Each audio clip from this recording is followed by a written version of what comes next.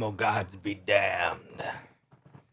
All right, I think it's gonna play an ad real quick, so I'm gonna hang back. Smart dogs. You are not. Oh, you are not one. Hey, Zeuser. All right, we got an ad playing. We've got uh, what is this?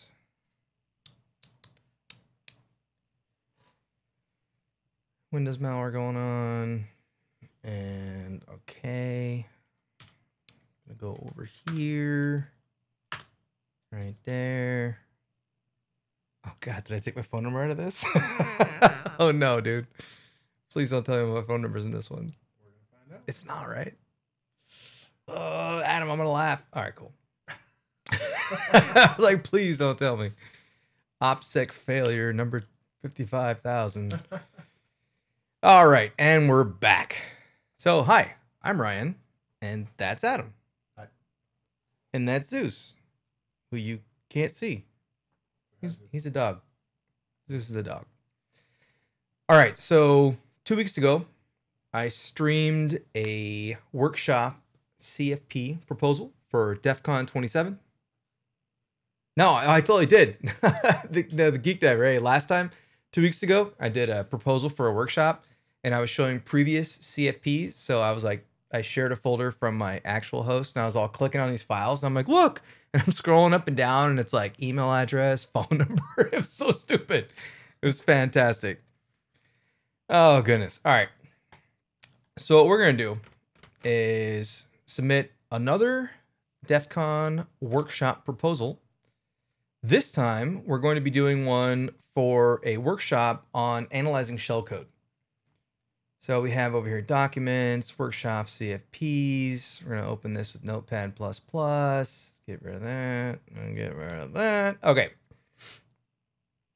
So here's the text file that I used for my initial workshop CFP. I'm still editing the video. I'm still trying to get rid of my name and email address because I'm so stupid. Operations or operational security failure, big time. So, anywho, this time we have it all xed out. Hey, look at that. So, in the previous video, and folks who didn't see it live will see it later because I need to continue editing all my damn info out of it because I'm a genius. Anywho, I went on like I went into what a CFP is and why they're important and things of that nature. For this one, I'm just gonna get right into it. So essentially, if you go to defcon.org. Oh, you know what? I didn't change the damn name on my channel, Adam. I know. I'm not a good I'm just not a good person. This is one done opposite. I don't know. Let's see if I can change it live. Submitting a DEF CON 27 CFP do update. Hopefully that takes. Boop. Let's see. Nope. So it says fundamental. Oh, maybe I got an F5. Little F5 action. Nope. Nope. All right. Cannot edit that live. Yeah, whatever. Yeah, he says he can do it. Geek Diver does a lot of. Hi, by the way. I'm Ryan. I've watched your videos. Aw, I made an internet friend. Oh. Oh, internet friends. All right. So anyway, DEF CON, biggest hacker conference, blah blah blah. So we have a call for workshops, which closes on the first, which is coming up very shortly here. And if I click on call for workshops, which I could swear I've already done, we're waiting. There it is. So this call for workshops, and again, I, I went into all this in my previous video. Talks about sign up costs and yada yada yada. But down here is the hey submit a text file only because you don't they don't want weaponized files obviously and PDF like pops up with an alert box and it's like hey you have to accept my paper or you're gonna be ransomware encrypted and then really do it oh all right so I've basically grabbed all the information from the call for presenters or call for papers site and I've dropped it into a text file. I recently filled out one, so I'm just going to be editing that one. And so here we go. Submission info, primary trainer name. That's me. That's the guy, Ryan. Yay. Company, mm, NA for now. I'm not sure if this is work approved, so day job is left out of it for for right now. Additional trainer information, NA. I will probably have some room proctors, maybe this little fellow over here, uh, to help out folks who may get stuck as we go through depending on how many people they have signed up. If they get like 20, 40, 100, you know, it depends. We may need additional proctors. So, have you taught this specific workshop before? No, I just came up with it uh like now as we do this. Ooh, out of whiskey. That's dumb. Isn't that dumb? Did he leave the bottle? I. That's rude. Should I go check? Yeah. Dude, No, we got it. you work. That's how rude. He just left. All right. whiskey. In the previous stream we just did, we had a buddy of mine popped in and was like, "Hey, have some 12 year whiskey," and we're like, "Okay, sure." All right, so brand new workshop idea. Although I've trained the concepts at day job many times, five week curriculum. Yeah, so I did a five week curriculum at day job, and we go over a bunch of stuff. One of the weeks is reverse engineering. They don't really go over shell code. We go over using a debugger a little bit, but we keep it at a little bit because it's not really intro or even advanced security operations center training. Um, but I have done, in general, quite a bit of shellcode training. So they ask for previous workshop stuff. And here I have listed three of them Network Forensics Workshop, Packet Pillaging Done Right, Packet Pillaging, Network Forensics Workshop Do, and then Exploit Kit Shenanigans. They're cheeky. So here's where I went over some shellcode back in 2015 at B-Sides Las Vegas and I guess I'll just leave those for now. Um, I do want to, however, put a quick note here. Quick note: This is a second. mm, this is my second submission for a DEF CON workshop. My prior submission was for No whiskey. carrier file. What? No whiskey. No whiskey? No whiskey. That's stupid. All right, see the bookshelf right there? My wife's not gonna watch this. We're good. See the bookshelf? See the, the second row down right there? See behind the wheel of time? this. is the wheel of time companion. Yeah, pull that out. There's a companion. It's a companion, huh? It is a companion. pull that out. And then Is it in there? and then there's whiskey back there. Is it? Is it the book? no, behind it. Come on. What are you doing? Adam. Come on, Adam. It's the important things in life. All right, submission was for a carrier file Maldoc uh, analysis workshop. I'm submitting. You found it. An alternate workshop. Obviously, only one. Obviously, I would only expect. Okay, expect. Hopefully, damn it, dude. Hopefully, Sure you want this? yeah. You already can't type. Yeah. Hey, shut up, Adam. oh, I tinked it. Bing. Every time you tink it, you gotta bing it. So again, uh, this is Adam back here. Well, this is Knob Creek. So. Adam and I have been friends for what, 30 years now? Something like that. Uh, something like that. Um, 32, 33, I don't know. Kindergarten. We're we're dating ourselves here. Here you go. Zeus wants some. Yeah, Zeus is like, dude, give me some of that. What's up, buddy? All right, so I'm just putting a note to the CFP board that I'm submitting a second workshop, and obviously I don't expect like, oh, they're gonna take two, like I'm so damn special. But uh, You're kind of screwed, aren't you? that'd be awesome if they took two. My goodness. All right, this is my second submission for a DEF CON workshop. Prior submission was for a carrier file maldoc analysis workshop. Submitting an alternate work. Use the word workshop again. Uh, let's just get rid of that. Boop. Obviously, I would only expect, hopefully, one to be accepted. Blah, blah. All right, this is a brand new workshop idea. Yeah, yeah, yeah. Okay, cool. How many instructors will there be? One, this guy. However, I'd like to pull in some room proctors. I've done this before for my workshops. Yeah, so I, I like to do, I like to talk, if you haven't already noticed. And when I do talks, I pull in room proctors just for a regular talk, or especially for any type of hands-on event. Excuse me, so they can walk anyone through something that may, you know, be stuck or something like that as we're trying to keep the flow of the training going.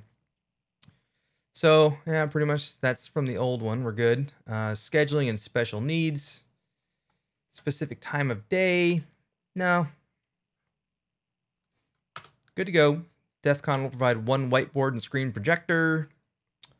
Nope, all good. That's that's pretty much what I need. Um, I will be providing, if this workshop gets accepted, I'll be providing USB 3.0 drives with Remnux and a Windows VM. Hopefully, I'll have information for folks to get that all set up prior. But a lot of times people show up without any prep work, so I'll have a, a fast drive for them to hopefully get things going. So, presentation info. limit your class size. I'm comfortable with presenting this workshop to as many people as who would like to attend. Step by step instructions. So, one of the big things about doing a workshop for a conference is not just getting up in front of the room and being like, ah, hey, do this and then do that and then do this. You're going to have all kinds of different scenarios. Some people are going to be able to be there for half of it and then they got to go. And if they go and you don't have anything for them to follow outside the immediate class, well, they're not going to have anything to do. On top of that, depending on how advanced, for example, the content is, you may have some folks who are like, well, I already, I already know this stuff. So if they know steps one through 20 and they're bored, they don't want to sit there and be bored by you, especially when you're at a conference that's very large and has all kinds of other really cool things to do. So what they're going to want to do is kind of jump ahead. And if you have step by step instructions for them to do so, they're going to be very glad and they're going to jump ahead. So, an example of a previous workshop I gave, um, let's go with one of the network forensic workshops. Here's a PDF file for the bad boy. And scroll down, scroll down. So, in this workshop that I gave at, what was this one? Uh, CactusCon 16, 2016, I believe. I gave step by step by step by step by step, step by step. Do, do, do, do, do, do. Instructions. All right, this is the boring stuff. Hold on. There we go. So, all this stuff, commands to run, exactly what to expect from your output. Um, this, however, does take your development time and take it from like, oh, I'll do these things to like a ridiculous number of hours to put this all together. So you print this thing out and it's just like tons of content and it takes a lot of time to do it, but it provides a much more thorough and professional workshop. And speaking of professional, you shouldn't curse because that's fucking rude. And someone hit me up today. They're like, "Hey, I don't know about your language on your stream," and I was like, "Oh, turn it off." fucking turn it off, bro. Sorry. Uh, anyways, that's enough of that. All right. So, can your class be taught in under four hours if requested? So, the class we're going to put together right now is going to talk about. Well, here let's let's start it off. Um, let's do save a new file. Call it. Give me your booger. Notes, and we're going to be like. Uh, so coming up very shortly, they're going to ask for a larger outline, and in this case, I'm coming up with that right now. So, uh, what is shellcode? Where might one find shellcode? Uh, where did the term originate? And we'll call this section all about shellcodes or something silly like that. And then we're going to talk about um, quick triage, scdbg.exe let's call this DBG. And then manual analysis, uh, converting converting raw shellcode to a PE. Actually, before that, reviewing raw shellcode example given dot bin file in IDA. So IDA can take just shellcode, like a little binary blob, as I like to call them, and it will parse it and be like, oh, it's, do- it's doing this stuff. Um, if you don't use the debugger and the shellcode, which most shellcode does, actually does like a, you know deobfuscates itself, it XORs itself, or rolls or shifts or all the above. Then IDA, without using the debugger, is just gonna be like, oh, it's there's a couple instructions and it's all crap. But if, as you start to run it, you know, you, it decodes itself.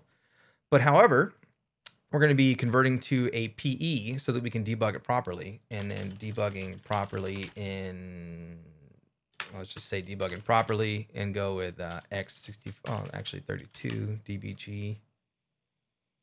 Uh, do I have it on the desktop here? I don't have it yet.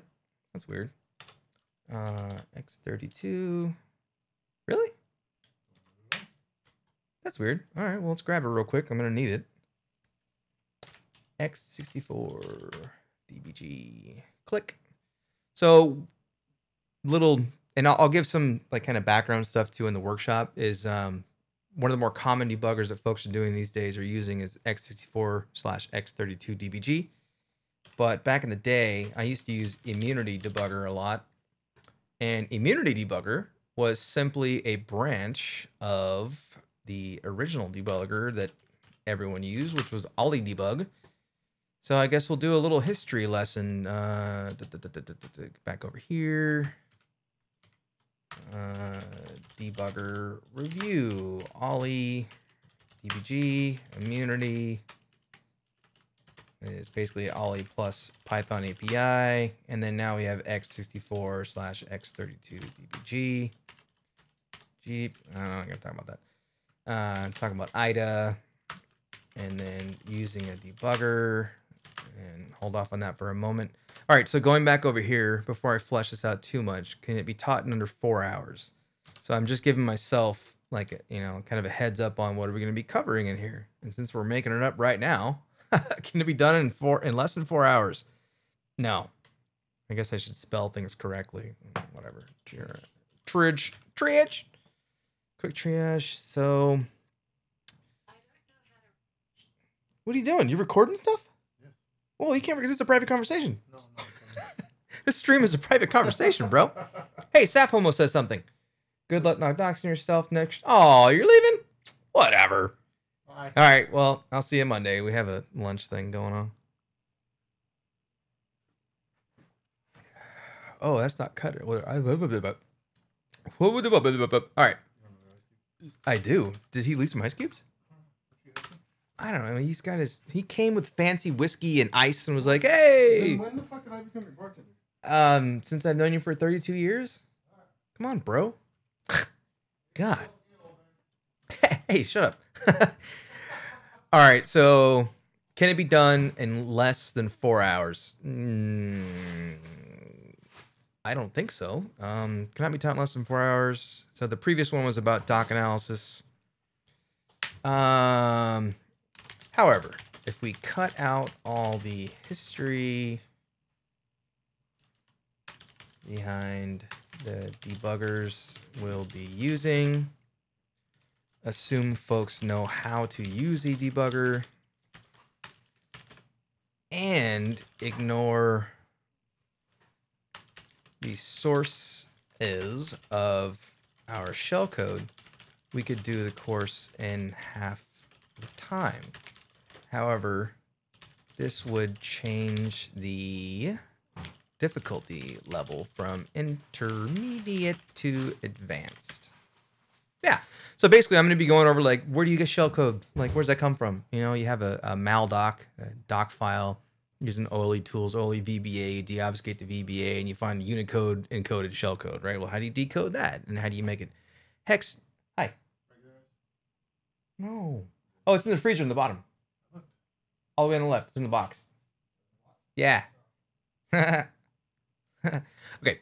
Uh, if we ignore all that and we're just like, hey, here's shellcode and go, but that would that would change the overall workshop quite a bit.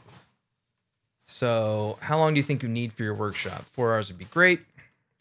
Um, overview of shellcode, or I guess rephrase that. That's the phrasing sucks. Shellcode overview. And actually, I need to save this for a little bit later. Hold on, I got to come back to this. Um, buffer and potty breaks. I'll come back to that. Um, previous workshop I submitted was understanding and analyzing weaponized carrier files. This one will be something a little more attuned to dealing with shellcode. So let's go like something stupid. Down the rabbit hole. Uh, understanding, no, debugging and understanding shellcode. That's a working title. Do I have any watchers right now? Oh, hey, there's some people here. Hi. Hey, say hi in the chat, damn it. All right, so that is a working title. Down the rabbit hole, debugging and understanding shellcode. Down the rabbit hole. That sounds kind of douchey. That's right. It's a working title. If anyone has any better ideas, throw them out. So, um, yeah, we'll come back to how long we're gonna need because I really have to flesh this out. In fact, let's just do. Let's just get on to this. Uh, all about shell codes, aka shell code overview. What is shell code? Where did the term ori- or- originate? My man. Your ass is freezer. Oh, that's okay. Yeah. Big ass ice cube. It's really freezing burn. Looks so stupid. Oh, I got a bunch of it off there. like how professional that is. Look at that shit. Look, it's, it's a really nice whiskey cube, but it's all freezer burned. By the way, the rest of them are getting there too. Are they? So. You might find it before Oh. Or maybe I should just drink more whiskey. There we go. Now it looks a little prettier. Yeah, I've had these for a while. Whatever. Okay. Uh, where did the term originate? So,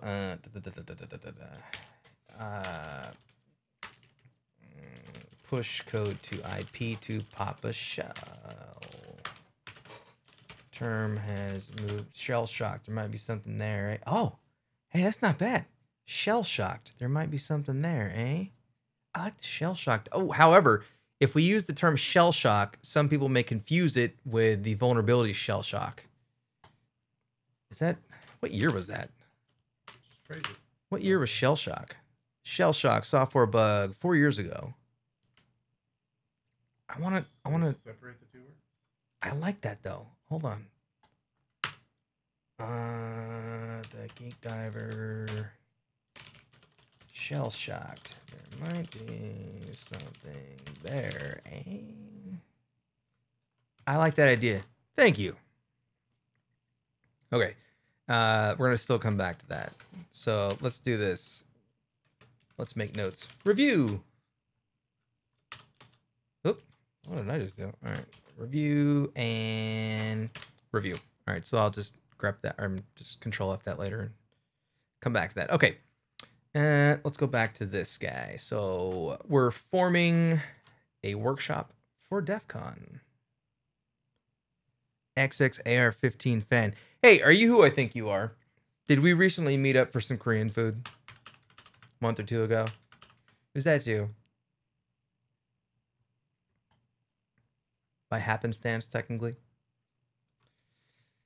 Okay, what is shellcode? Where did the term originate? Push code to IP to pop a shell. Term is term now used for entire string of instructions to get to the point of a shell. Includes ROP gadgets, blah blah. Where might one find shellcode? Completely off base. Damn it! All right, it's not. It's not what I thought it was then. All right. Well, hi anyway. Hello. Uh, Maldoc analysis, uh, EK landing page, um, general CVE association. Hey, what's a CVE? These are things you kind of expect, but you have to kind of just throw out there and quick triage, um, push shellcode to hex file, review via SCDBG, either directly or via PDF stream dumper. Oop, can't use that. Uh, useful when analyzing. What? What? Ah, ah. There we go. PDF files. So weaponized PDF file. You're in PDF stream dumper. You go to the JavaScript UI, the secondary thing we were talking. Oh, were you here for that part? Mm, Okay. You go to the secondary UI, you start deobfuscating it, and all of a sudden you have percent encoded crap and all this type of stuff. So uh, recognizing, recognizing Noodle Linux. So I'm just looking for any good sources on it. All right, cool. Uh, in here, we'll be using some cool. So what I'm doing right now is I'm just giving an outline and I'm kind of workshopping. Oh, I'm workshopping a workshop. How cute is that? All right, so I'm brainstorming a workshop for DEF CON 27 to do shellcode analysis. And I'm going to submit it along with this and be like, you know, hey, go over here. And I, I, I recorded three hours of me talking, and they're like, oh, wonderful. but also, toward the end of this, I'm going to be, t- interspersed, whatever, I'll be talking about some of the Linux stuff and some of the Windows tools we'll be using like throughout and how to do some of these things. So, for example, if I switch over, can I switch over quickly? Let's see. All right, here's Remnux. There you go. So shellcode to exe.py is a tool that. Co- oh, by the way, I'm using a system. Ah, I hate this damn version. Hold on. Let's go with 24. Is that a bit much? That's cool. 24 works. Uh, Cat, Etsy, Star, release Star. We're, this is based on Ubuntu 14. It's um, distribution referred to as Remnux, and you can find this bad boy over at. Go back to full screen and da, da, da, what am I in Windows now? All right. You just go to remnux.org. And here you go. The Sans crew. Uh, let's see. Is it Lenny Zeltser and who else? Zeltser? Is that how you pronounce his name? I don't know. Yeah, Lenny. I always I've always pronounced it Zeltser. Oh, here we go. That's the other guy. Yeah, yeah, yeah. David Westcott, Lenny Zeltser put together this Linux distribution. Um, it uses, I think it's was it LXDE? Is that the name of the the uh, windowing system? LXDE, right? Uh, it's a lightweight X desktop environment. I believe is what that sounds for. that sounded good, didn't it? That's what I just said. It sounded right. Yeah. So, anyways, not as much overhead and, and uh, less processing power required, things like that. So, anyways, we'll, we'll be going into some of those things. So, hopefully, you you find that useful. Okay, quick triage, recognizing uh, URL encoded URL. Let's go with uh, UTF, etc. Encoded shellcode. Convert, converting between shellcode versions. So you have X. You've got uh, percent U X X X, etc. And there we go. All right. And all right, do I keep fleshing this out or go back to here for a moment? Uh, keep fleshing this out. Debugger review. The days of old. That's douchey. All right. Um, I guess debugger timeline and why we're choosing X32 debug. So OllyDbg, and I'll go like this. To immunity, Olly fork with a Python API to X64 slash 32 DBG. We're going to use that. Also, IDA free. Pro is great, but expensive.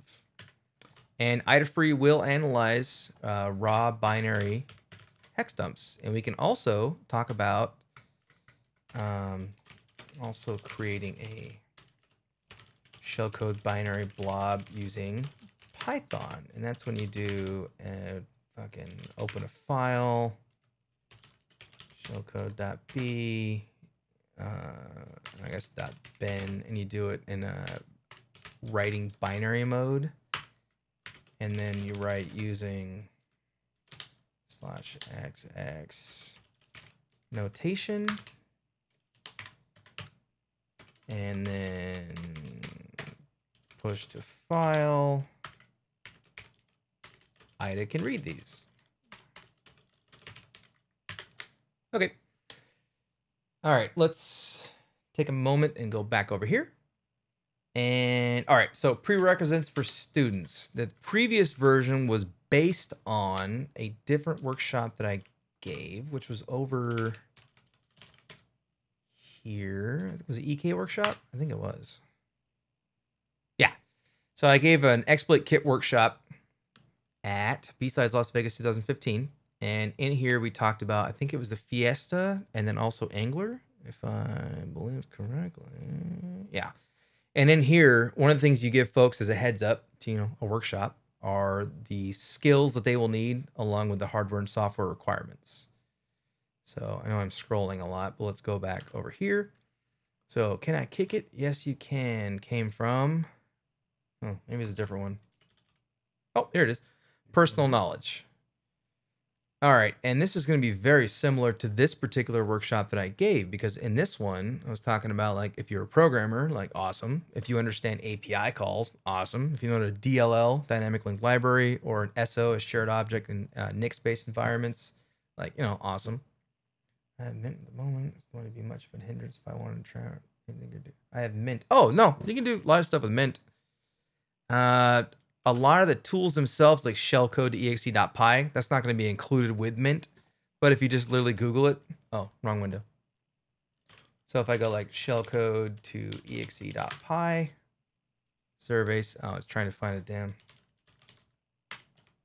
Uh, put it in quotes so that Google doesn't look for a TLD. There you go. So Mario, oh yeah, this dude's awesome. Mario Vilas, not Vias. There's only one L there.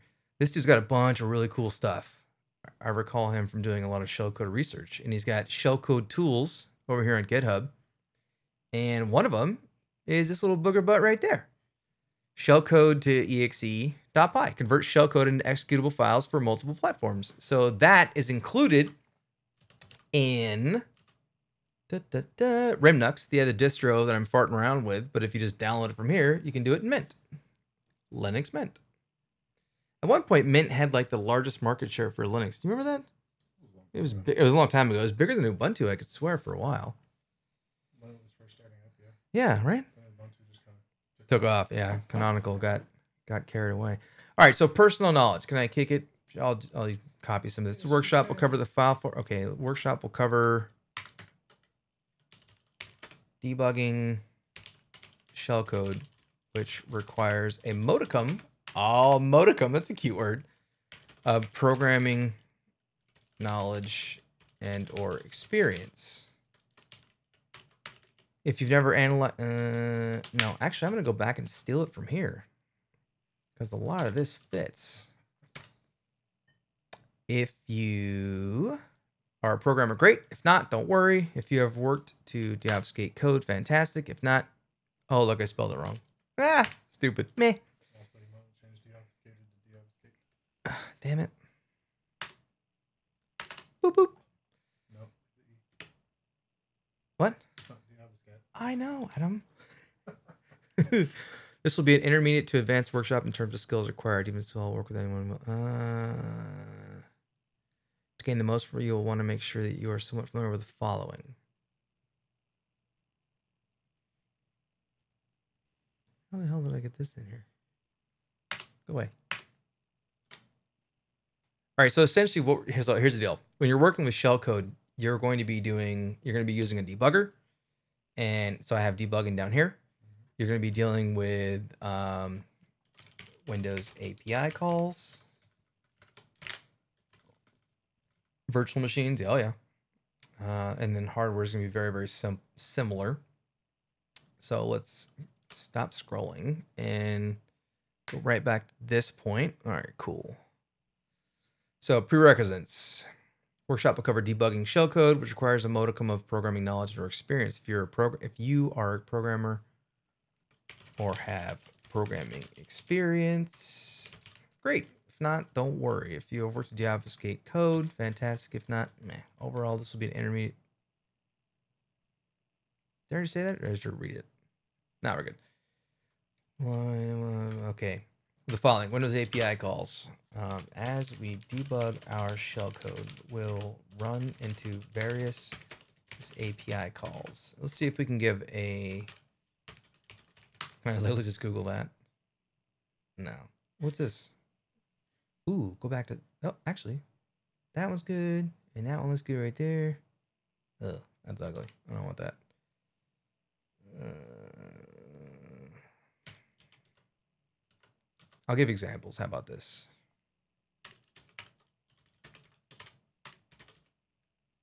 If you have seen, um,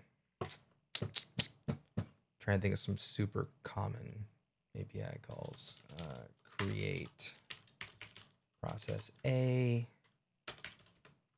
or for example, if you create process A and have no idea what this is, may run into issues with the workshop. Meanwhile, you can simply Google create process A.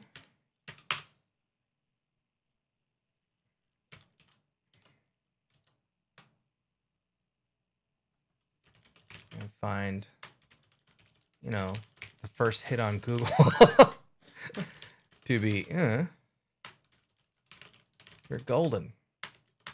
So the idea is, you know, if they've never seen a Windows API call, Mhm. right? So create process A, a couple of different things. Uh, a Windows API call that ends in a capital A stands for ASCII. Other times you'll see a W, which stands for wide. Sometimes you'll see an EX, capital E, lowercase x.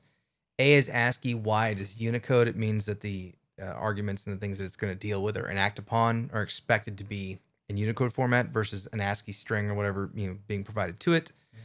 Um, EX. So I wonder if you can do a quick like uh, Microsoft API call EX stands for I think it's extended officially.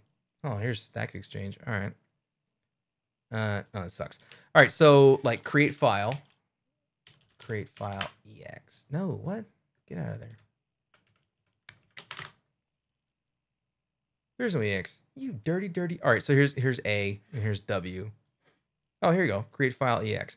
So EX means it's, it's extended, meaning the original version of the API call in the Microsoft Docs, for example, right? Like let's say this one right here. Create file. Mhm. Okay, these are the arguments it accepts to be pushed onto the stack, and we'll be talking about the stack, all kinds of fun stuff as we go through this for folks who don't have experience like debugging properly in a debugger, right? So they they're they're pushed on in reverse order to the stack. That gets called. They go into the, the frame. Anyway, um, if a function is changed such that it's so radically different from the previous version, and yet they're like, oh, it's it's still like create file, you know. Instead of naming it just create file A, they'll name it create file EX, and it stands for extended, and they'll still keep create file. So in a program, you might see stuff like this. Like some programs will literally use like, and I don't remember if thread even has an EX, but you might see like create thread A. I think it's just create thread, whatever the hell it is. And then later you'll see EX. And if you approach them the exact same while you're debugging it, you're gonna fail. Because if you look at the Microsoft Docs for what this sucker wants, it wants like derp, perp, and perp. Whereas this one might want like derp, derp two, herp, and burpity perp. I don't know. The idea being is they they function so different that it's an extended function. So if someone has never ever had that type of experience, I mean, you know, we could talk to that in the class. That's Mhm. kind of one of the things that I'll be talking about. So as we debug our shellcode and run the various MS API calls, for example, if you see create process A and have no idea what this is, you may run into issues with the workshop. Meanwhile, if you can simply Google create process A and find, you know, the first hit on Google, you're golden.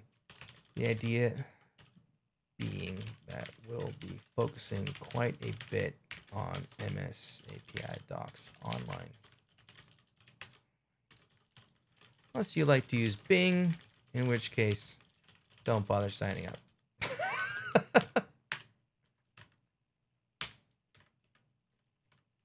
oh, there might be some Microsoft people there. It'll get mad. Fine, I'll take that out. I see the whiskey's treating you well. it totally is. Started using a different browser option or search engine. what? DuckDuckGo. Using DuckDuckGo? Yeah. Oh, I'll let you have that. Just trying it out. All right, so Windows API calls debugging. Big old bonus if you're already familiar with debugging concepts such as setting breakpoints, stepping through code, etc. For ex- example, what's the difference between step into and step over? We'll be covering these in the workshop, but if you're already familiar, fantastic. If you've never run debugger, go hit your favorite search engine, DuckDuckGo, and blah blah. You know the drill. I'll be covering. I already said that.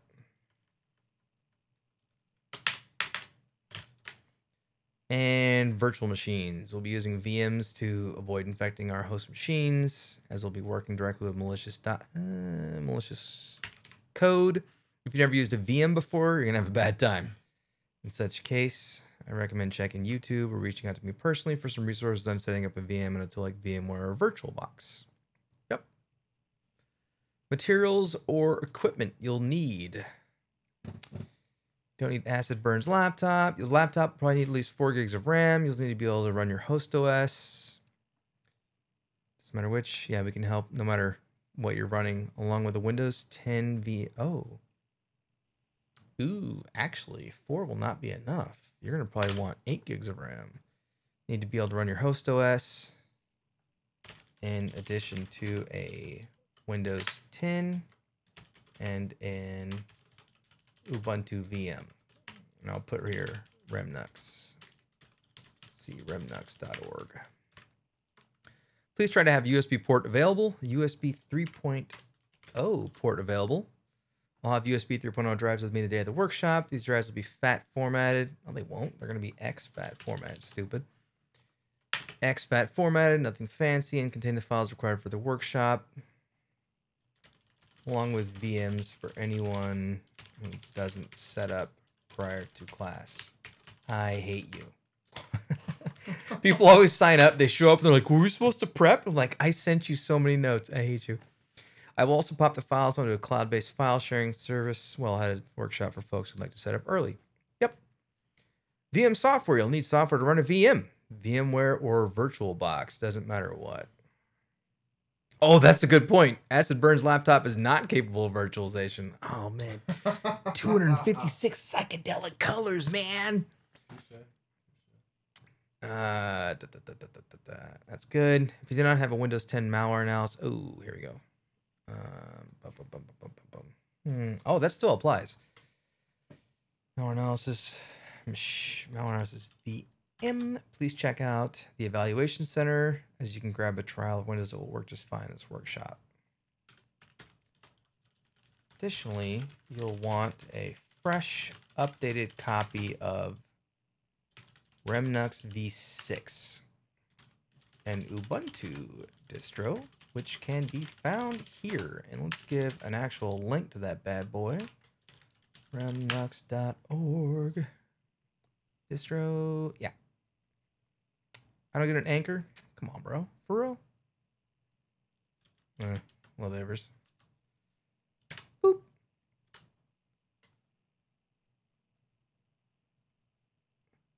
Cancer stick. Oh, a smoker? That's horrible. You shouldn't do that.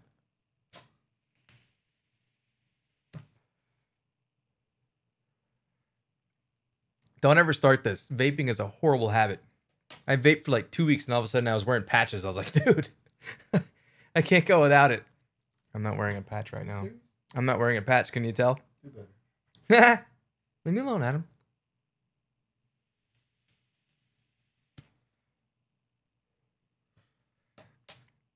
Whenever I watch a streamer and they vape on stream, I'm like, oh, dude, come on. Cut it out. And I just did it. Twice. Twice. All right. Additionally, you want a fresh, updated copy of Remnux v6, an Ubuntu distro, which can be found here.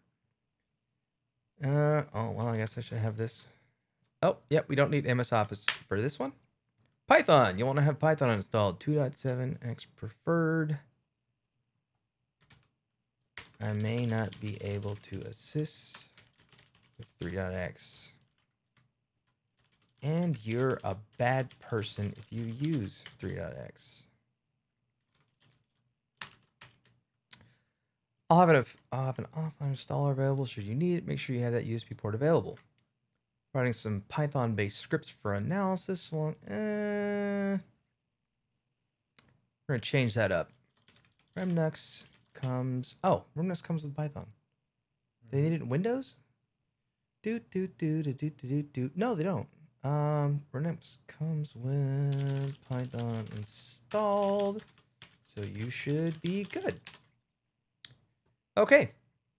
Skill level. Target audience would be intermediate to advanced analysts. However, anyone in a little background in malware analysis should do just fine if otherwise a beginner when it comes to incident response. Mm, yeah. Advanced folks who haven't done much. Okay, we gotta toss this part right here. That's fine. In the event your talk is not accepted for workshops, would you be would you be consent to having it referred to one of the villages? Sure thing, sounds good. I really want to do a workshop. I don't really know how the villages work, to be honest. I believe they do. Um, essentially, I mean, they're doing it in. Th- so DEF CON 27 is going to be in three different hotels this year. It's going to be in, oh, goodness. The Paris. What, what connects directly to the Paris? I'm blanking. Oh, I know. Ha. Cool. Uh, we can just check. the uh Par- oh yeah, Bally's. Paris, Bally's, and they're now extending to Planet Hollywood. Three different hotels. That's ridiculous. They might hit like 30k people this year. That's gonna be crazy. Sure thing sounds good. As long as a village is conducive to a four hour workshop. Yeah. If you need to collect a fee for materials, nope, no fee. I'll have some USB drives to share out VMs for folks who don't set it beforehand, but in general, nothing is needed outside a laptop. And we have our abstract. All right, let's go. Let's pop back up here and think about more. Let's see, hardware and software. Okay. Um, in your Windows, Windows malware analysis VM, you'll want to have the following installed: x64 DBG. Ooh, what are we gonna want in Windows? x64 DBG. IDA free. See, I don't like IDA free 7 because it does not include a debugger. So, for example, if we go to let's type IDA, does that work? No, that's dumb. Uh, was it hex hex hex? Oh God. Hex IDA Hex-Rays? Yeah, yeah, Hex-Rays. So IDA, so IDA five free was available for many many years, and then they released IDA seven free. The evaluation version, I guess we should call it. So IDA 7.0 freeware, but unfortunately, they took the debugger and they they nixed it. And it would be very handy to have. And I don't see historical downloads here, but I can provide them. So let's just put a note, IDA free 5.x. As a note, IDA free 7.x removed the built-in debugger only available to commercial users. So I will provide 5.x installers if needed. Okay, so uh, IDA, uh, x64, IDA free. What else do we want in Windows? We're in Windows. Let's look. Uh, we're gonna want. We can do technically we can do Python. So in Remnux, but they're gonna have to have shared folders to be able to share the files back and forth. And shared folders are always a demo god issue. Just like when I said I would start this uh, stream about 20 minutes prior than I did because I was having VMware tools issues. So I think I think that's mostly okay. It's mostly what we want. Let's go with that. Let's make sure they know. Well, X32 DBG. All right, cool. All right, let's let's move down for now. Uh, target audience would be intermediate. Oh, I got that. Uh, da, da, da, village. Okay, abstract. Summarize, which will training will cover. Okay. So what I want to get across here is that many times analysts, whether it's Security Operations Center, Tier 1, 2, 3, uh, CERT, CE, CI, RT, whatever you want to call it, when they run into shellcode, they'll typically say, like, well, we need to push this out to the malware team, right? So I want to try to give a, give some ways that they don't have to defer to another team. And so at day job, right? Day job, we try to train our SOC to be able to handle everything. You know, something comes in and if it's, you know, Emotet and it has obfuscated VBA, they're able to go in and that was the previous workshop idea, right? I was going to use Emotet as an example. And you know, you decode everything and you find the PowerShell and you decode it using I have write host methods along with DOSFuscation and all kinds of fun stuff that we're going to be using if that one gets accepted. And in this one, what I want to do is like you run across the shellcode, say in a carrier file, whatever it is. You're able to do a quick triage using SC DBG, mm-hmm. shellcode debug, and which is this little fart right here. So I just downloaded scdbg.zip, which by the way, you can find scdbg. Just Google it. It takes you to RE Corner, which is a phenomenal website. And it does a really quick analysis and a high level overview of shellcode. So it'll tell you like the API calls being used along with the arguments being used within it. And then taking that further into like, all right, well, when shellcode typically initiates, aside, we're not going to talk about return oriented programming. We're not talking about ROP. We're not going to get into ROP gadgets. That would be an advanced class for darn sure. So we're going to be talking about, you know, it loads the PEB, the process environment block, and from there it finds kernel 32, and then from there, like we're going to be going over all those things. If it does a call to lower in the code, and then it does a call to higher in the code, you know, why is it doing that? Well, it's trying to find its place in memory, and that's because of ASLR, address space layout randomization. So, in fact, I should go over here and I should add some things in here using the debugger, manual analysis. Um, let's just call it shellcode shenanigans. Is that spelled correctly? Uh, ROP. ROP will not be covered.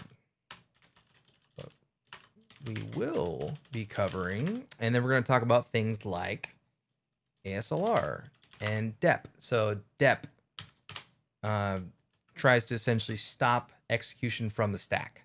So as opposed to executing directly from the stack, uh, data execution is it data execution prevention? Is that what it is? Am I blanking on it? ASLR DEP.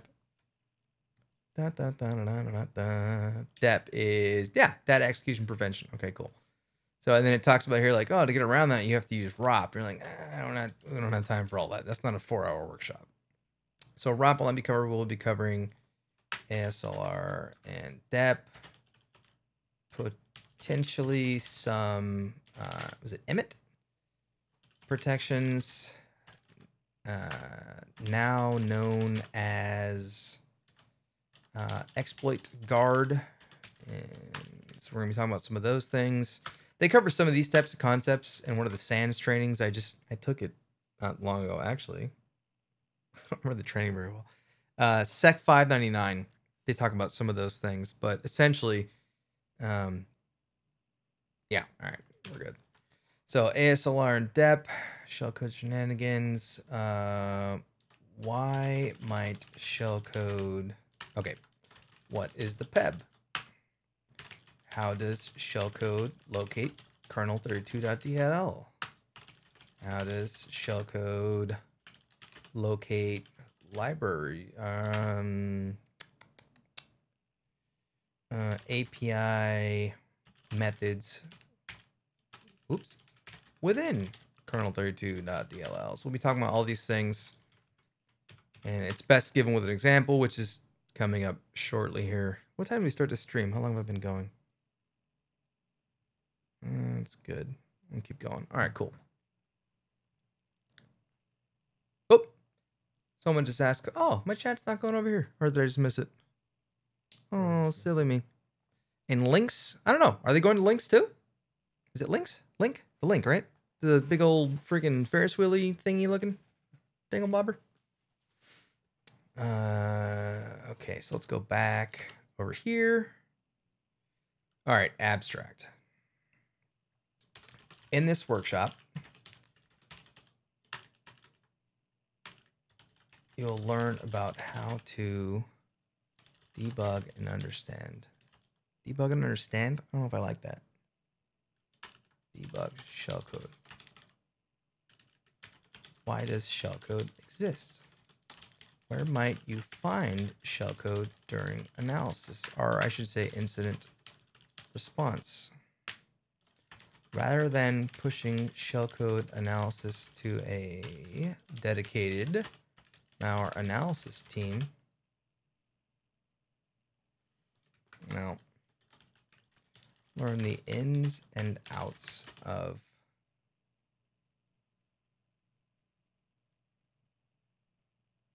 Mm, I don't know word this. Everyday incident response Everyday incident response techniques as related to. Mm, Sucks, Adam. Do better. uh, in this workshop, you learned about how to debug shellcode. Why does shellcode exist? Where might you find shellcode during incident response? How can you quickly triage shellcode to determine the actions it takes? How can you step through shellcode to determine exactly what API calls are used? Make that a question. What? Triage. Where? Third line. Third line. I did it again. Yeah, trace. Huh, I'm not good at that. You don't like that word. LINQ. There you go. Yeah, yeah, yeah, yeah. I I actually heard that it might have extended to there. That's a good point. Four? Is it? Can you consider that a whole hotel? A whole hotel? Uh, we're gonna come back to this and say review. Uh, I'll come back to that. So trainer bio. Right, I hate talking about myself in the third person. It's so silly. But Ryan Chapman is an incident response IR. Oh, analyst with a background in host and network forensic analysis, malware analysis, threat intelligence, and all the other fun facets of the blue blue team realm. Prior to working in IR, Ryan worked as a technical trainer for many years. Outside of work, Ryan spends time with his family, gets tapped on the jujitsu mats. I haven't been to jiu-jitsu in like six, seven months because I got injured. I'm a chump. I'm gonna leave it in though. And plays- Yeah, I got tired of getting tapped. I got hurt. I got it hurts. And plays plenty of Street Fighter. Hadouken. Let's do that. the geek diver already knows me. Ryan not like talking about himself. That's fantastic. Yeah. Yeah. All right. All right. You got me. Notice he said in the third person. Yeah, yeah, yeah, yeah. Uh, okay. About me. Okay, so here's the detailed outline. So about me, and then we take all this and we dump it from the previous one.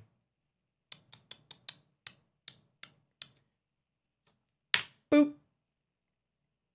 And we'll take what we have here, dump it in there. So we have some things to deal with. Uh, any supporting files, Mm, yeah, I'll just leave that listed above.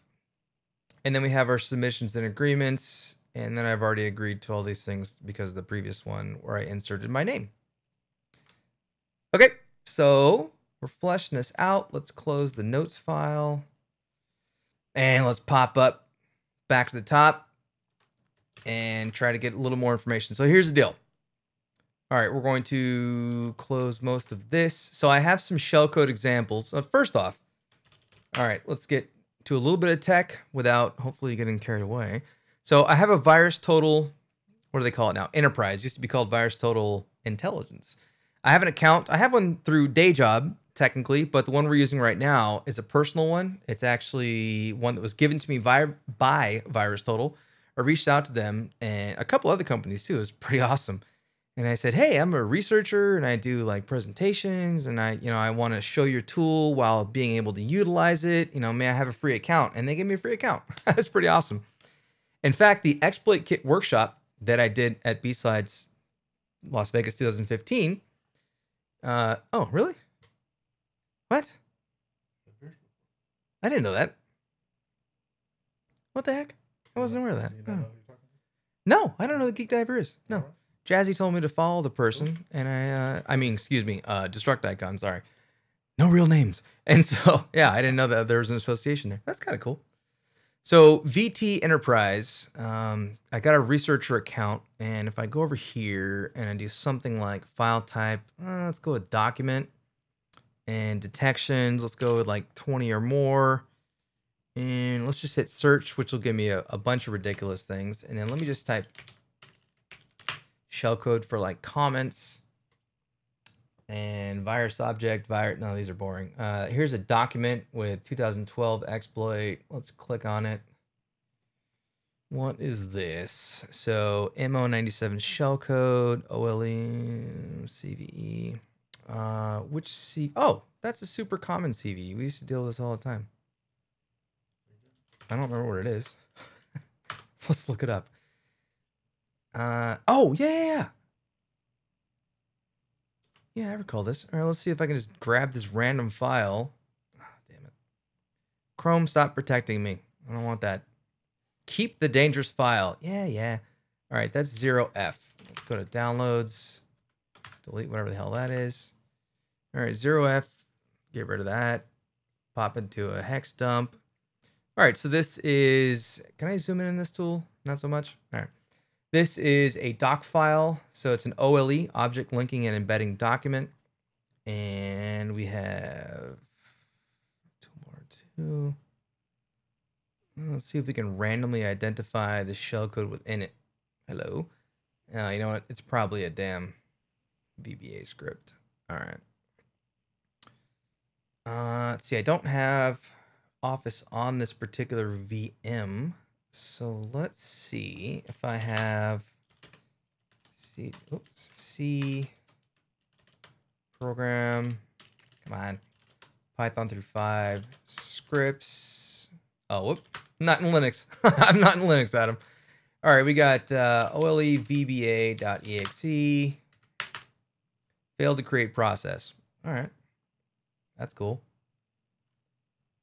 The hell's that? Oh, I think I downloaded the uh, OLE VBA for. Oh, I want OLE VBA three. Nope. All right, cool story. Uh, OLE tools.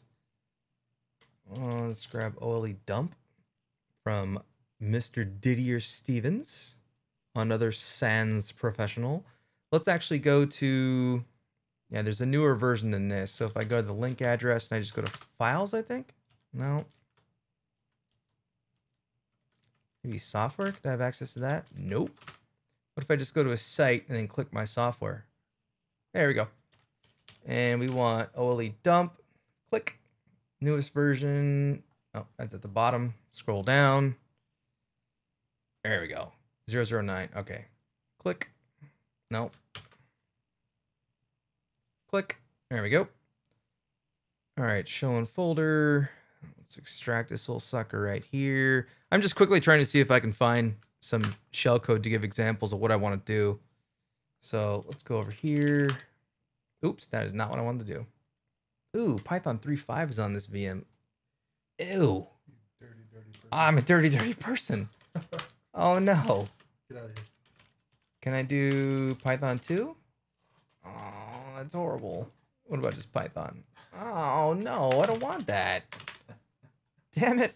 Uh, I'm the person I hate. you are.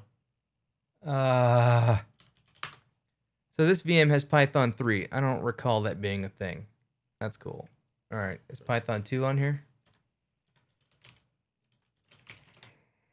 Let's go get Python 2. Download. No. no.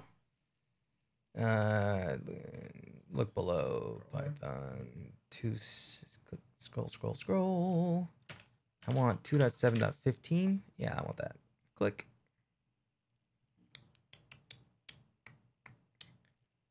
Windows 64-bit MSI installer. Click, click, click. Sure, why not? Yeah, yeah, yeah. Put it there. Do do do do do do do do do do. Ew! Ew! No! Ah! Parenthetical notation for print. That's horrible. Oh, I hate it. Now, normally I use virtual environments, so I'm sure I'm going to screw this all up, but all right, whatever. Um, CDC, no. I just put it in Python 2 step. To the, yeah. Uh, Python. All right, cool. Exit out that. Python. Where did I put the dingle fart? Here. And doop, doop, doop, doop, doop, doop, doop. OLE dump. Does that work? Ah. Movert. I don't want to deal with pip. Pip's all piped into Python 3 too. Eh, whatever. All right. I'll come back to that. So, uh, fill that out later. Not on not on the stream. Yeah. Uh, previous workshops. Da, da, da. Can your class be taught in four hours? All right. Here's the first review. How long do you think you need for the workshop? Four hours would be great. Shellcode overview. Uh, extracting shellcode from a carrier file, do 0.5 0.5. Uh, 0.5 hours converting between shellcode formats.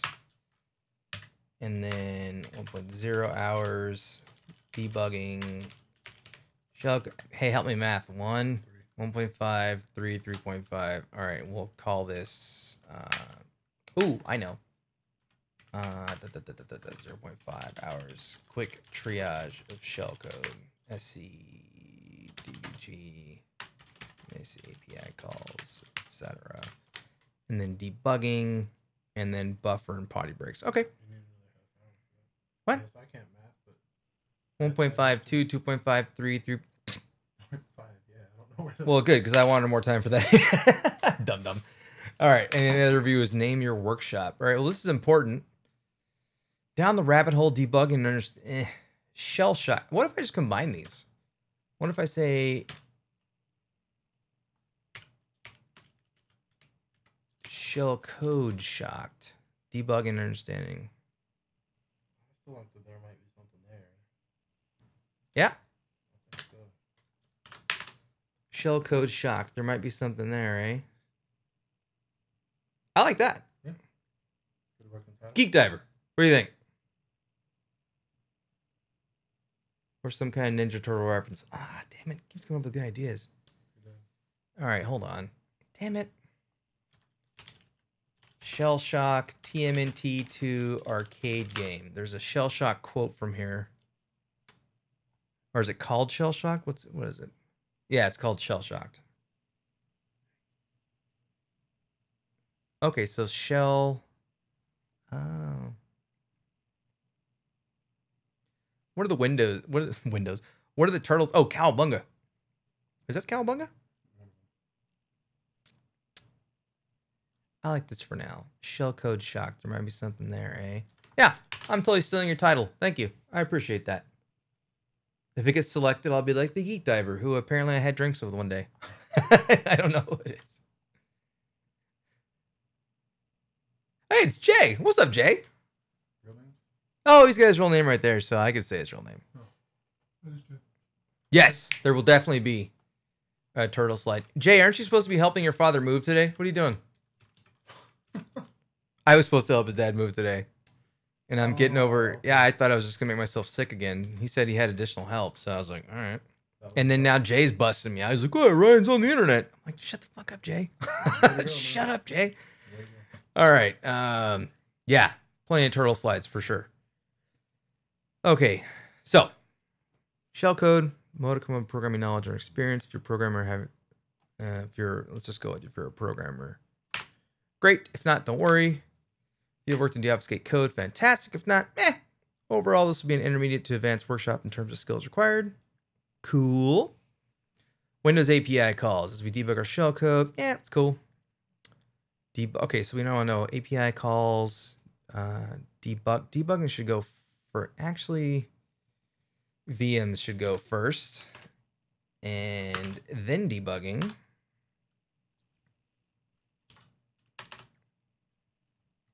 And then Windows API calls. And in fact, we're going to even say in order of importance.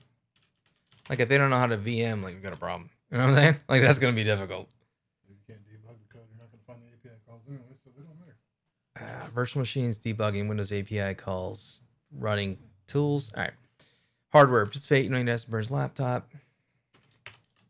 Actually, you need much better. Bring a laptop. So 8 gigs of RAM should be fine for Remnux, Windows 10 VM, USB 3.0 ports, VM software, Windows 10 malware analysis. Use the test drive, Python, but Remnux comes with it and then you're going to want x64 DBG and IDA free. I think those are the primary tools we're going to need.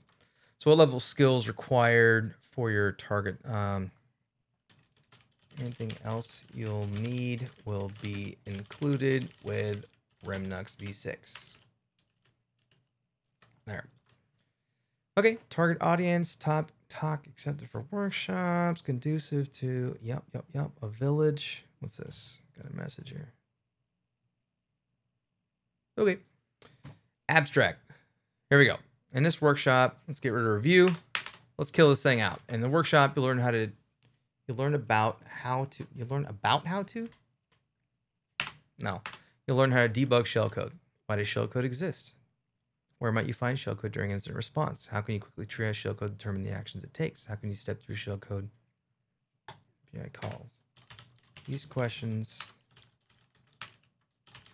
Workshop uses a hands-on method to train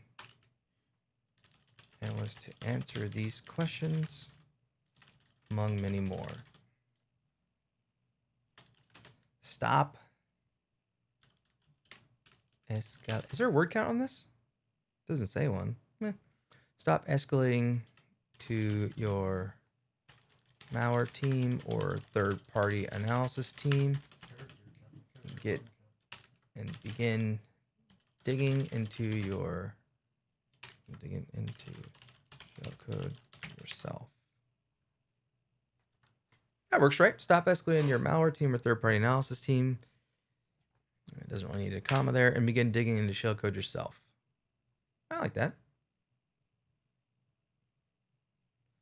I should try to VM at the moment. I just switched to a flash drive, and oh yeah, you want a VM for sure.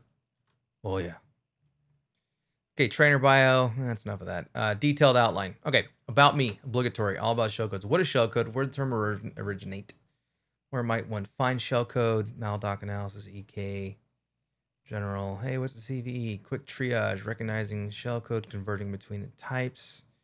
Push shellcode to hex file. Where's the PE part? Where do I get into that? Did I delete that? That's silly. Quick triage, recognizing that it's going to convert between shellcode versions, push shellcode to PE file. Many options. Shellcode to exe dot py.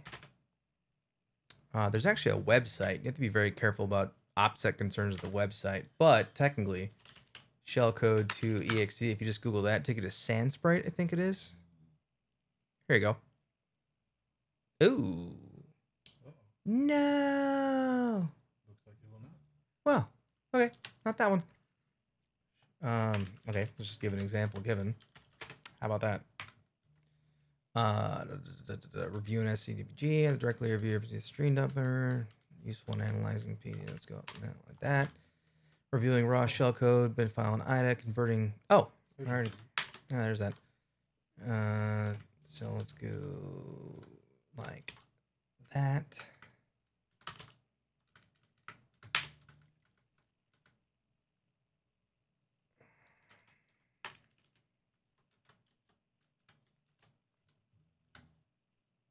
Okay, so now what we want to do is we want to actually let's put this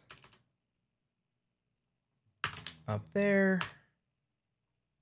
and get out of that. So now what we want to do is give some final examples and then wrap this up, a little bow on it, and talk about some quick shell code here. So let's get this stream done here. We've got uh, for my previous workshop on GitHub, the EK workshop, I have some shell code listed for, I guess Fiesta has more on here. Yeah.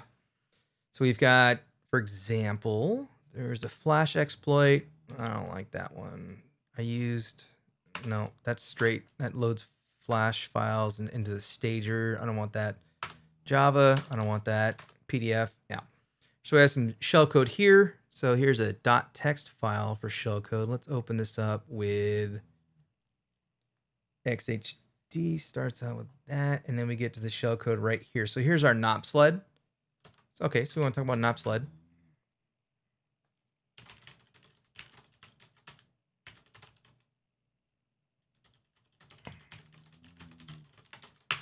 All right, talk about NOP sled, and then we have our actual. So we're gonna save as, save as desktop. Let's just call it shell.bin. Let's get rid of the NOP sled. Boop. Yep. All right, and then down here it looks like that's what gets encoded, and then we got a bunch of 90s after that. Is it just all 90s down the? Oh, wait a minute. Ooh. Uh, uh, uh. Yeah, that's good. All right, we're gonna save that as shell.bin, and then we're gonna see if scdbg GUI launcher with find shellcode clicked We'll find it. Where did I say that? Desktop. Desktop and was it shell.bin? Was that it? And then launch. Da, da, da. I don't know if it's byte flipped. I assumed it wasn't. Oh, there you go. There we go. Oh, hold on. Uh, load library being used with your. Oh, okay. So this is potentially uh, an obfuscation point. So load library A, and then it's actually trying to load URL mon. So this would be part of the workshop, right? So you talk about load library A. So what is load library A? When you want to load a library itself, so you want to actually load up a DLL via kernel 32, you have to invoke load library A. So we go over here and we go like this.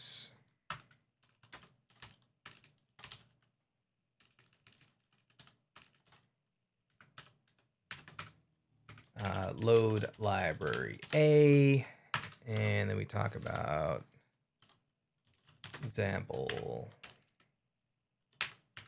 example given load library a url mon.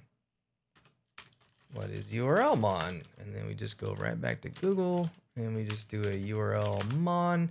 Url mon is a dll file that is used typically to invoke things like url download to file and so we go like this and we pop in common example and then like that little fart right there. Close that close that. What did i call this file? Uh shell.bin let me verify what this little sucker is again. It's just the the raw shell code right? Okay. So do i ooh do i have ida 5 on this machine? Oh, i bet i don't because i'm lame. Ooh i do ida 5 freeware version yeah i agree to that sure new. No, don't do all that. Just open a damn file. Desktop, shell.bin. Yep. Uh, 632. Yep. Yep. I know. Uh, uh, oh, I meant to hit C. I screwed it up. I meant to hit C. There.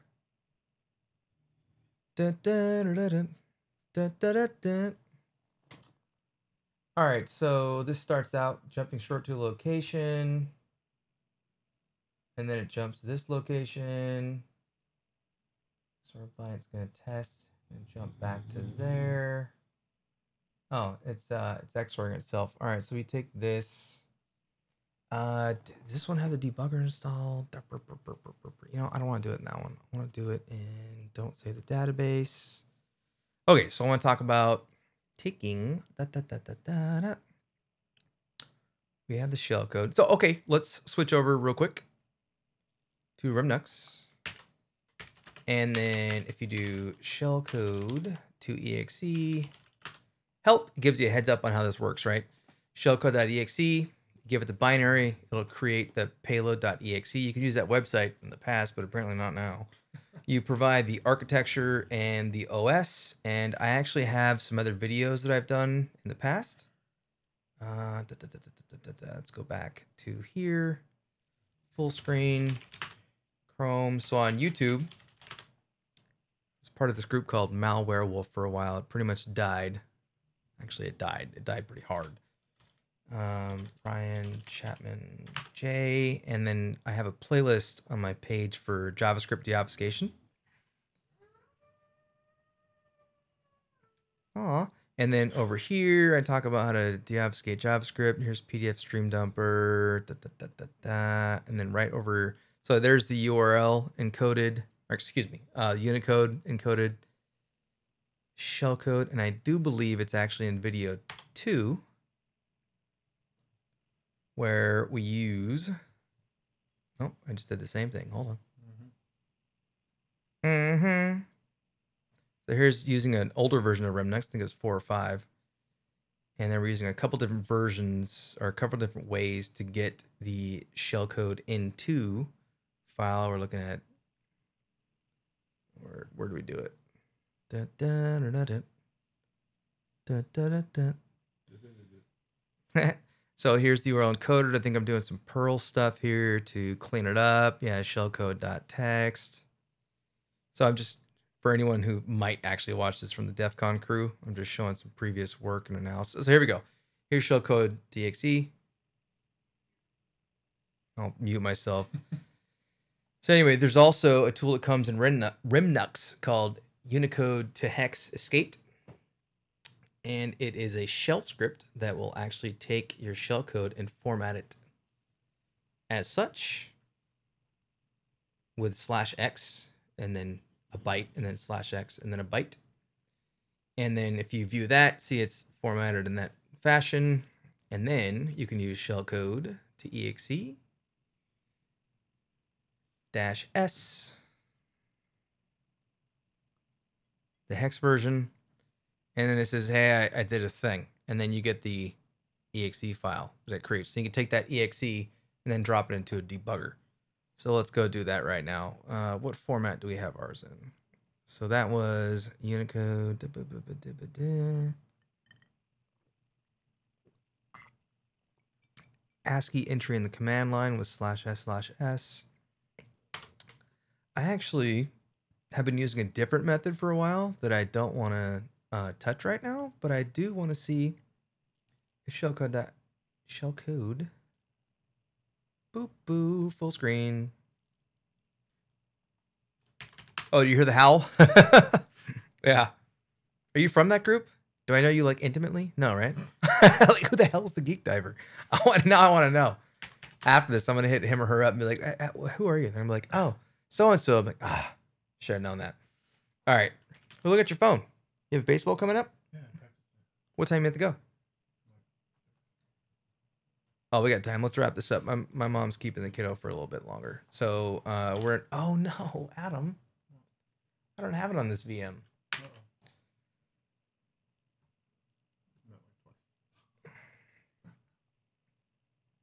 Oh, are you that dude from Grinder? He's like, yeah, look at ah, reunion. Grinder, right? Yeah. Nah, like I don't know. Ah, like I don't know. All right, github.com, rj dash chap. Way to docs. Uh oh, someone's home. Uh oh. I'm gonna get I'm gonna get yelled at. I'm gonna get yelled at. Too late. Hey Ed. Wanna say hi to the internet? She's like, no. No, stupid. All right, which one are we looking at? Angler or Fiesta? Do you remember? We're looking at Fiesta. All right, cool. Let's grab the Fiesta file here. And I just want, uh, so I could submit the workshop as is, but I'm not truly showing them that I even really know how to analyze the shellcode. So I want to provide some type of deb, deb, deb, deb, deb. I'll just do this, whatever. And take that one guy. Nope. You want to do that? All right. How about that? And go. Da, da, da, da, da. Go away. All right, it was a PDF. Oh crap, where did I put it? Which one was it? Oh no, Adam. Was this little guy? Open that in set. Yeah, it was that one. Okay, we got to open this and Bless. Ah, what? How silly is that? All right, sudo apt-get install Bless. So Bless is a, a fantastic hex editor. It's not fantastic. It's actually very low overhead and non-resource intensive, which is the same thing as very little overhead. Oh, fantastic. It, it's fantastic. It's quick and dirty, is what it is. O and O editor is the is the king, but it costs money. So let's open Bless, and let's look at that. Fu- Come here, stop it. And it was one. ah, stop yourself. Remnux doesn't do the windowing things. I like the windowing things that Ubuntu and Windows do. Dun, dun, dun. All right. This little sucker over here. We're gonna take it right up to right there. Go away. And we're gonna save as uh, I don't know shell.bin, and we'll put it in the Remnux folder. Save it. All right, so we got shell.bin in here, and then we go. I mean, technically, can you copy as hex from this tool? Don't. This tool's kind of weak in that regard. I'm not sure it works that way. Uh, oh, well, that works. That worked. Okay. Well, that's cool. All right. Well, in that case, let me just grab down to doop, doop, doop, doo, doo, doo, to right there. If I can copy like that. Did I close it? I did. Go back to site. And how do you replace in here? What did I just do? Do, do, do, do. Replace, replace, replace. Replace space. Replace all. All right, so we have our raw hex here, right? So then I can take this and hopefully it's copying and pasting on the machine. Hey, come here. Hey. Oh, I clicked too much. Don't click too much. Calm, calm down. Uh, oh yeah. All right. Open a new one. Okay, open that up. And let's paste on this. That. All right, cool. Where are we? We're in the home directory. Oop, screwed that up. Yup. All right, echo to, uh, let's just call it shell.hex.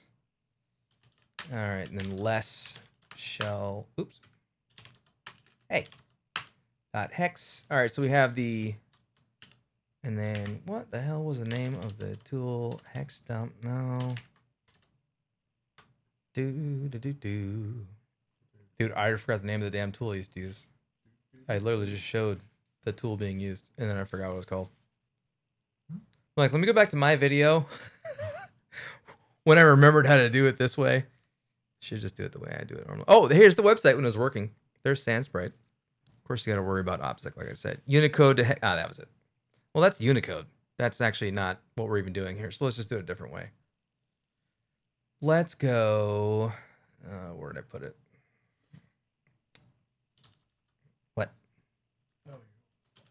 Oh, I opened Slack. Huh, that's weird. Didn't mean to do that at all. All right, back there. And there we go. All right, so cat shell dot hex. All right, let's just do this. Uh, Perl PE uh, globally replace, and we're going to take every two characters uh, da, da, da, like this, and we're going to replace it with that, or with slash x, and then like that, Oop, probably give it a file would be useful. All right, there we go. We're gonna call that shell dot um, h. Oh. Sure. And then shellcode. Oops, shell code to exe. I already forgot how to use it. I already forgot how to use it, Adam. Uh, we want shellcode to exe s, and then the file. I technically I could specify the architecture. I don't think I need to.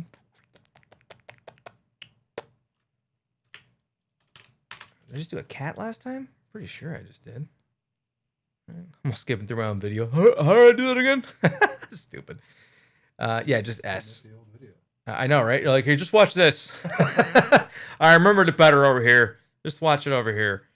All right, S, and then what did I call the most recent one that I just did? Uh, shell.h. All right, writing shell.exe, and then we do xxd shell.exe, pipe that to less. All right, we got an MZ, and let's try that. All right. Oh, damn it. Uh, Adam, my shared folders aren't working. Oh, no. you still don't have VMware. No, that's ignorant. Oh no, Adam. Oh no, everyone. So I got my PE file that I want to go pop into a Windows debugger now. And then my silly butt forgot that my shared folders aren't working on here right now because why would they? Demo Gods, the Geek Diver. Right back to Demo Gods. I'm checking my options right now. One sec. Shared folders enabled. Tools on. Damn it, Adam. All right. I'll uh this stream's running long. I should have fixed this before. Damn it. Cache search open VM.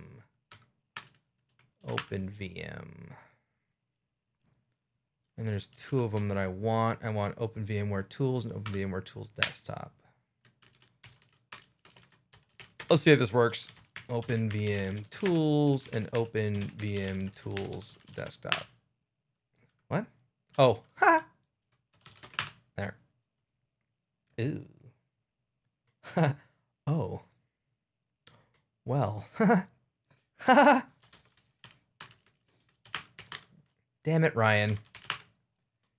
All right. Until next time. Right. Well, never mind. Well, I was gonna show in here. I pulled the damn PE into a Windows debugger. So I tell you what, I think I've already done that actually. Old video? No, like literally right here in this damn thing. Look, if I go over here to Fiesta, mm-hmm. it's the same thing. See, I've got Fiesta shellcode underscore exe. okay, that's super handy. I already did this. so all I would have had to do was just copy the file from Linux to my host and then to Windows. But apparently I'm adept at running VMware tools, and I think that anyone who's ever presented knows the same. Yes, see, Geek Diver. Yeah, I'm telling you, it happens to freaking everyone. All right, so let's take a quick analysis here. Take a quick analysis? That sounds weird, but that's all right. Did I ever get X32 debug on here? We could do a quick analysis. Did I not download it yet? I thought I did. X32? Yeah. Didn't I do the whole thing? You did X64. I. No, you were messing with Remnux. I did all this. Oh, I know. Maybe it's just not loaded. It's it's in here. Did you download and install? I may have Adam. Let's get it again. Stupid. Just to show these guys what we did. Just so that they know what I know what I'm Give them doing. 45 minutes between talks. They're like, if we choose him for this talk, he gets no whiskey. no whiskey at all for this guy. All right, hold on. Hey, Zeuser. What's up, buddy? Arrgh. All right, showing folder. Where'd you go? Nope. Oh, it's snapshot. All right. Do do do do do do do do do do. All right, release and 32 x32 debug. We open this little guy right there. And let's just take the exe and drop it. All right. So when this, ah, damn it, hold on. View, uh, where is it? Options. I think it's appearance and then font, and it's, oh, it's one of these damn things. Da, da, da, da. Application font. Can I just make it bigger like that? Does that work? Ah, too easy, huh? I can't zoom in easily. Ah. Ugh. All right. Appearance, font, tables, disassembly. Yeah, disassembly. Yeah, yeah. 16. Save. There we go. All right. So when the shellcode pops up, you'll notice that it starts off with the EB07. And by the way, we're going to talk about register. Okay. Well, get to it, right? So manual analysis, uh, debugger review, registers, uh, EAX through EDX. Talking about the registers, what they are, flags, why they're important. Uh, talk about setting breakpoints with F2, classic. Instead of breakpoint where I currently am, it turns this little sucker right here. Was that red? I'm colorblind. I don't know what that is. Red. All right. So we got, uh, anyways, it's going to jump down further in this little sucker, and you'll notice it has, is this a red line right there? Okay. So if I and then we're going to be talking about the debug menu. So let's say uh, debug menu. Step into. Step over. Run until X. Things like that. And if I hit uh, da- da- da- da- da- da- F7, I hit my breakpoint. F7 again. Now it jumps down further into the code. It's going to move some bullshit into here, but then you'll notice it's going to jump back up. And the reason it's doing this is that if you look right here, oh, hold on, where did I just stop? No, I'm in NTDLL. I don't want NTDLL. I have it breaking early. You bastard. There we go. All right, here's the, the Fiesta code, excuse me. So EB11 are the first opcodes we see. So then we're going to have to talk about opcodes, right? So you say X32 opcodes and coder 32 this is i actually have this printed out. I purchased it from this person whose name i already forgot. So we're going to talk about opcodes. This is the fun part. Should have streamed this. Opcodes. What are they? And so Mm-mm, shellcode begins with, and it's EB11. So if I look up EB over here, right? I go EB. Uh, that's not what I want. Okay, that way sucks. Let's do it the right way. EB. Boop. EB is a jump. So the opcode, the operation code for EB is a jump. And then when you specify 11 after it, like what does that mean? Why is it doing that, right? So if I hit F7, it's going to jump down further in the code. So you noticed it jumped down to 401013, which is the line that we're on now. So we're going to talk about offsets. So we're going to talk about offsets. What are offsets? All right, so we jump down to. Am I still streaming? We're good here? Okay. Mm-hmm. You jump down to this, but then you're going to call right back up to the line directly underneath the line where we made the jump. Mm-hmm. So, what is the purpose of that? Well, when we hit F7, if you look down here on the stack, and I know it's not zoomed in very well, but I need to end this damn stream. So, I've been going too long here. So, we now see this memory address is pushed onto the stack, and that's because whenever you do a call, it actually does very specific things. One of the things that it does is it pushes the address space that it's coming from so that it can be re- referred to as the return point, the RET, and it pushes it onto the stack. And that's how the shellcode is able to then identify where it is in memory. You'll notice the next thing it's going to do, right? So we jump down and then we call right back up to the next line. But then we do a pop. And when we do a pop, you now see that the EAX register has the address where we currently are in memory. And that's one of the ways it tries to get around ASLR, address space layout randomization. Right now, we're currently in a standard memory space, 401000. And we're going to talk about how in a 32 bit architecture, every process thinks it has four gigabytes of memory, even though it doesn't technically. So, ASLR bypass method from shellcode. Where did I learn all this? Uh, I don't know. Uh, about five years ago, I took the SANS 610 forensics 610. I'm looking at my wall for the thing. What what date is that? 2014 September looks like. Right there, the bottom one. Reverse engineering. But prior to that, I actually worked with a fella. I don't, I don't know if I should say his name right now. Named. I'm a name drop the fool. But it, we had some folks at day job who outside of work would kind of mentor me on on some of this stuff, and so I picked up on how to move through shellcode before I took the SANS course. When I took the SANS course it was really easy to understand. I was like, oh yeah, I've done this before, and I felt all special. So um, why jump to lower in the code, then call right where we left off? Identifying address. Uh, no, identifying self in memory space. ASLR, i.e., getting around ASLR. Hi, I'm glad you saw me streaming too. so we're almost done with this one. Uh, yeah, uh, it's just absolutely overwhelming for folks to learn this type of stuff. So here's the thing: I would love to do where I just talk about like, oh, here's shellcode, and I'm just going to jump through it and do like this whole, you know, three four hour workshop. The whole point of this particular stream is just me filling out a workshop for DEF CON. So even right now, I'm going a little too far, but I'm just maybe on the off chance that one of the DEF CON uh, CFP board folks are like watching this and they're thinking, does this fool even know how to do it? Yeah, no, I totally do. See, look. so I'll show you right now what the shellcode's about to do. It's going to do something really, really cool. It's going to move, and if I highlight this line right here, it's going to move the value 575 to the register ECX. So the ECX, originally just the CX, but then the extended CX, is typically used for counting. So what we're going to do is it's going to loop through 575 times. Technically 575 hexadecimal, by the way. So not 575. And it's going to, so when I move it, I go over here to ECX, and you'll now notice the value is 575. So if I can go over here, let's see if I can quickly do the, there's so much, it's like, why can't I just do one damn font size? Registers. Oh, damn dogs. There we go. I think someone's home. Yeah. So 575, it's going to decrement 575. So when I hit F7, which is step into, it's going to go down to 574. And then it's going to XOR. So the shell code is hiding itself. It has a little bit of snippet at the top that says, this is what I'm going to do to deobfuscate the rest of myself.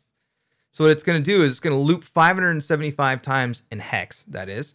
and it's going to XOR each byte by the value of 1F.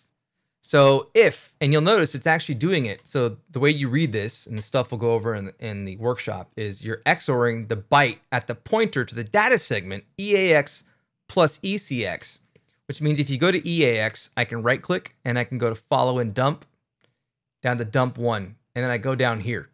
And then it's doing, however, plus ECX. So I can actually go down to follow and dump address, EAX plus ECX. So right now the value here is 1F. Ah, damn it. I got there's too many. Why? Just give me one font size, dude. Hex dump. Let's go to 16 also. There you go. So you'll see the value down here is 1F, right? But I'm going to XOR that by 1F. When you XOR a value by itself, the answer is Zero. yeah. So if I hit F7, now the value in that memory space is zero. It's then going to test ECX by ECX. That basically is looking to see if ECX is now zero. It's not. It's 574. So we're going to test the equal flag, and it's going to go jump not equal right back up to the top. Why? Because we still have to go through this 574 times in hex. So we're going to decrement. We're going to XOR. You notice the next value. We're going to test it. And we're to keep going and keep going. So it's XORing its own value. And if I keep stepping through it, you'll see it's reverse XORing itself. So right now this value is 2F. And when I step past it, now it's 30. This value is 2D. When I step past it, it's 32. So eventually, when this is done, I'm going to land here. So one of the ways that I can, what, what I can do here is I can hit F2 on the instruction that will follow after the loop is done. And then I can go over here to debug and I can say run. And when I do that, what it's just done is it's finished all the XORing.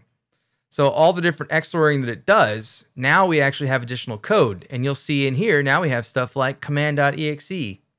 And apparently, there we go, notepad.exe. And hey, look at this. Here's the actual callout. So we've just identified the callout already by allowing the code to deobfuscate itself by skipping over that 575 in hex uh, loops that it did. So this shellcode is going to try to call out to http colon whack whack just tattoo shop.in. So the uh, India, uh, what is it called? CTLD, country level TLD, and then slash this big old UR, essentially URL.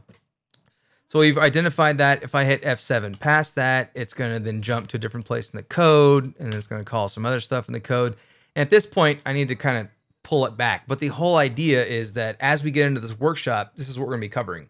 You know, how do you let the shellcode XOR itself or roll itself or do whatever it's going to do? And then for that matter, how do you continually analyze going forward? Like, how now? How now, brown cow? Oh, I hit you with that one, son. so at this point now, how is this shellcode going to actually execute in order, or how- what calls is it going to use? Hi, come here. What? Come here. What? Over more. Say hi. Hi. You're on the internet. Okay. Mwah. That's Allie. We're going over shellcode. All right, so in here we're gonna say getting around ASLR, and then we're gonna talk about uh, manual analysis, and I guess we go over there, manual analysis, and boom, opcodes. What are they? Hi, what are you doing now? Oh, you're watching that. That's you. What? That's you. See the little girl right there? That's you. See, there's real time right there. And then there's future or hold on. Oh. Watch. Wait, wait, wait. Look over there. Damn it, child. Look over there. Now what? Oh, there's you going, oh. All right. So then we need to talk about uh, looping, identifying loops, detecting XOR, roll, right, road, uh, shift right. This, this Zeus. We gotta put Okay. Zeus in this too, Dad. He was already in. Yeah. So was, so was Gina. They've already been in. She totally thinks my job is boring. Allie, is my job boring? No. Aww. Ain't you booger butt? That's the booger. She's the booger. I'm not a booger. You're the booger butt. No, I'm not. You're the booger butt. If I'm the booger butt, that means you're the big. That means you're the jumbo booger. butt. All right, Jumbo Booger Butt about to sign off here. Ryan, where's the toilet paper? When I tell my mom I'm streaming, that's my mom over there, everyone. When I tell her I'm streaming, she never, she's always like, Where's the toilet paper? I'm like, Shh. I'm almost done here. All right. So I think that's enough of that. Adam, what do you think? Yeah, that's it. Enough of that. Okay. All right, stream. We're going to just submit this now. Stop So- licking my Allie, come on, man. Just kept on licking my butt. Shh, Allie, calm down. dog. We're trying to be professional here, okay? Something like that. You're never professional. Hey, shut the hell up. So in here we're gonna call this uh, DEF CON 27 workshop submission alternate. And on another screen, I'm going to copy all this information and I'm gonna paste it into an email. I'm gonna actually fill out my email address and phone number over here where you can't see it. And I'm gonna say my email is blah blah blah blah blah, and my phone number is shut up, Adam, and it's blah blah blah blah blah. And you think that's enough? That's enough, right? Plus a two-hour stream. They're like, dude, shut up already. Yeah. All right, and I'm gonna go ahead and just click send. Click. It's sent. Yay! All right, so we have two different workshops submitted to DEF CON. I got this guy, close that guy, Dad, and again, it's hold on, sweetheart. At some, all right, sit, hold on. What's that? A dog? No, Oh, that's all right. Bad. Okay. So at some point, I would love to do a stream where I just talk about this general thing. If the workshop is denied, for example, then I'll probably just do that. If it's accepted, then awesome. Uh, would love the opportunity. Yada yada yada yada. Close that out. Close that out. Close that out. Adam, anything we got left? no. No. Okay, we're done. I think we're done too. Yep. Okay. Well, for anyone who hang out, hanged it- it- it out with us, anyone who hung out with us, we appreciate it. And I'll be trying to do this stream thing like Saturdays. Saturdays, yeah. Saturdays, 11, 12, 1 o'clock, something like that, Arizona time. Yay, blue team. Get it, girl. And uh, yeah, that's all I have for now. Okay, bye.